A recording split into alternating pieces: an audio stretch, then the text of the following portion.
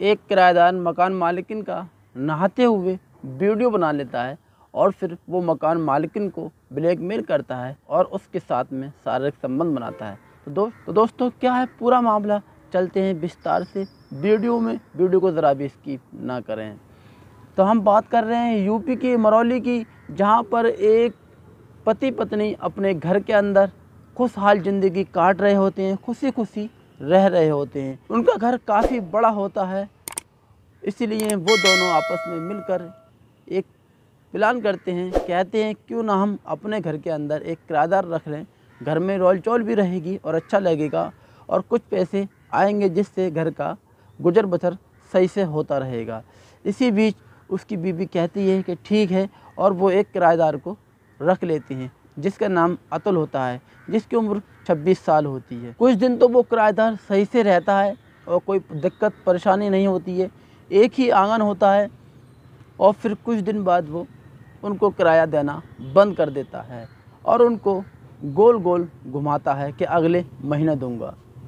लेकिन वो फिर अगला महीना भी हो जाता है। जब फिर वो किराया मांगते हैं तो फिर उनको वो गोल गोल घुमाता है और कहता है, एक महीना और रुक जाओ। इसी तरीके से वो उनके चार महीने किराया नहीं देता है। और फिर वो चार महीने के बाद जब मकान मालिक उससे सख्ती से पेश आता है और कहता है कि तुम हमको किराया दे दो, अगर आप नहीं दे पा रहे तो हमारा रूम खाली कर दो, हम दूसरा किराएदार रख लेंगे। क्योंकि हमारे किराए के पैसों से हमारा गुजर बसर सही से चलता है, जो हमें कमी पड़ती है वो पूरी हो जाती है।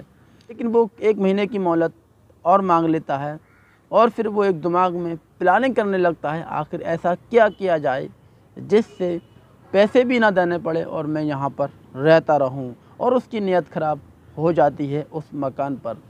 फिर वो एक प्लानिंग के तहत एक कैमरा लेकर आता है और वो मालकिन के बाथरूम में रख देता है नहाने से कुछ देर पहले।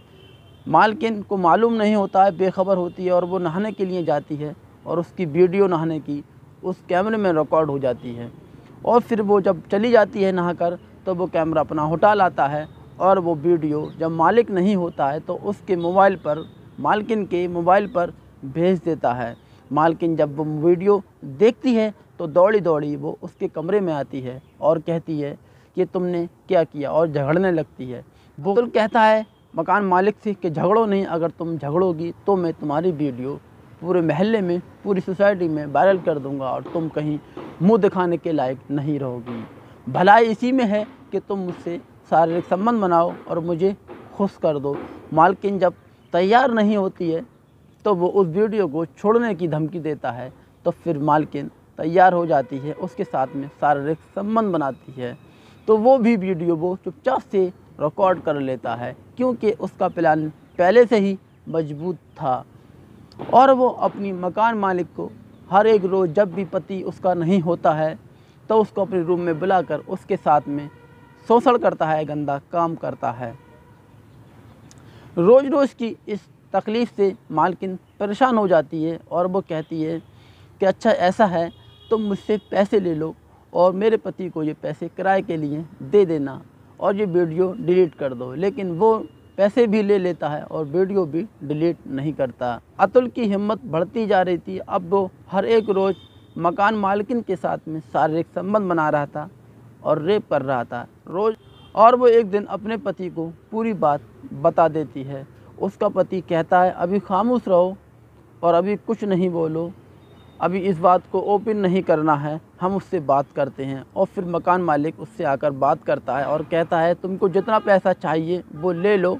और उस वीडियो को डिलीट कर दो और हमारे घर से निकल जाओ। लेकिन वो अतुल कहता है, ठीक है, आप मुझे पैसा दे दो। और वो पैसा ले लेता है, फिर भी वीडियो डिलीट नहीं करता।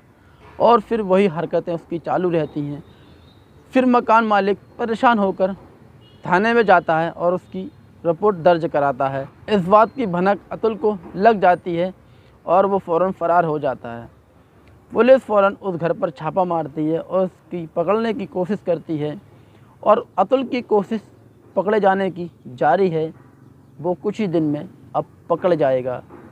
तो दोस्तों, इस घटना से हमें कुछ सीखने को मिलता है कि हमें किसी भी क्राइम में अगर कोई फंसाता है, ब्लैकमेल करता है तो तुरंत कानून का सहारा लें।